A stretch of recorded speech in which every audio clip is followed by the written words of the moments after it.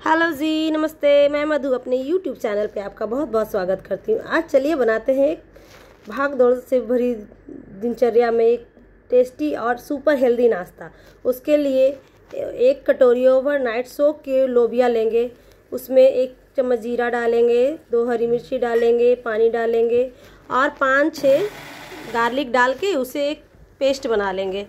और थोड़ी सी पानी अगर आवश्यकता हो तो थोड़ी और डाल दें और एकदम फाइन पेस्ट बनाने के बाद इसमें दो बड़े चम्मच राइस फ्लोर डाल देंगे, जिसे चावल का आटा भी कहते हैं आप। अगर चावल का आटा अवेलेबल नहीं है तो आप सूजी का भी इस्तेमाल कर सकते हैं, आप उसे भी डाल सकते हैं।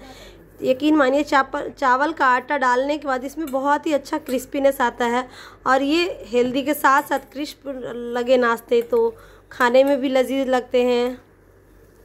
अब इसमें थोड़ी पानी डाल देंगे, नमक डाल देंगे, और थोड़ी सी हल्दी डाल देंगे।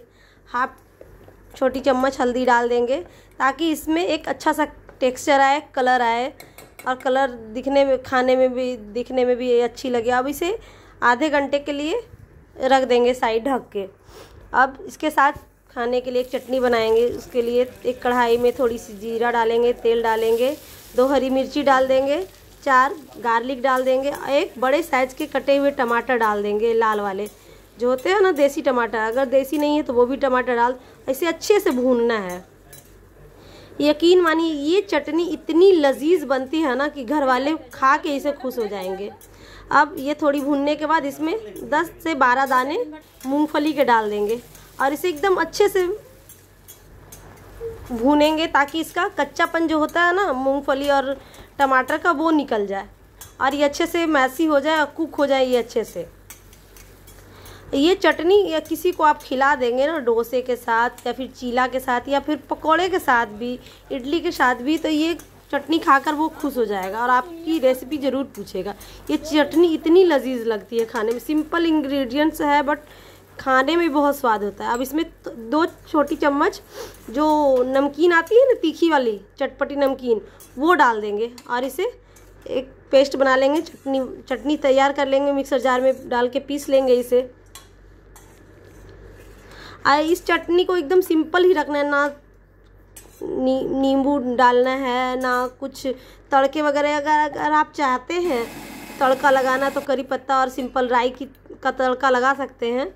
देखने में सुंदर भी लगेगा। बट ये सिंपल एकदम जैसे रॉ मूंगफली वाली चटनी होती है ना भूनी वाली एकदम देसी वाली एकदम देसी वाली चटनी लगती है। ये खाने में बहुत ही यम्मी लगती है। घर वाले से इसके साथ कॉम्बिनेशन चीले के साथ इसका कॉम्बिनेशन बहुत ही टेस्टी होता है। अब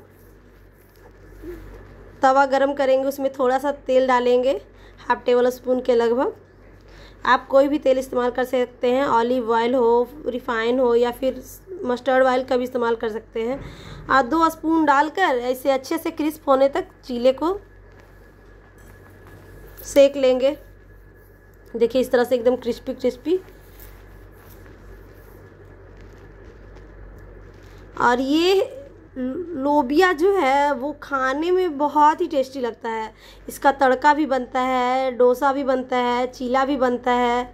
और वो जो कहते हैं ना कि पीसीओएस का आजकल बहुत प्रॉब्लम चल रहा है। लड़कियों में हार्मोन्स इम्बैलेंस होता है।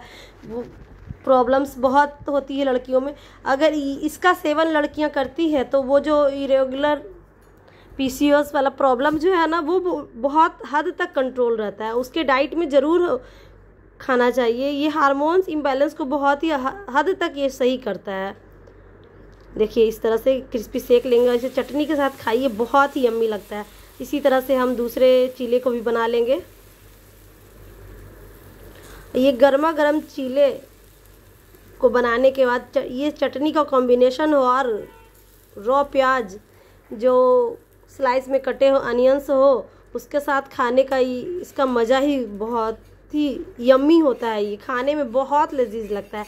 आप मेरी रेसिपी एक बार ज़रूर ट्राई करें। अगर मेरी रेसिपी आपको अच्छी लगती है तो लाइक शेयर एंड सब्सक्राइब करना ना भूलें। मेरे चैनल पे नए हैं तो बेल आइकन को प्रेस कर दें। आगे की रेसिपी के लिए मेरे चैनल पे बने रहें।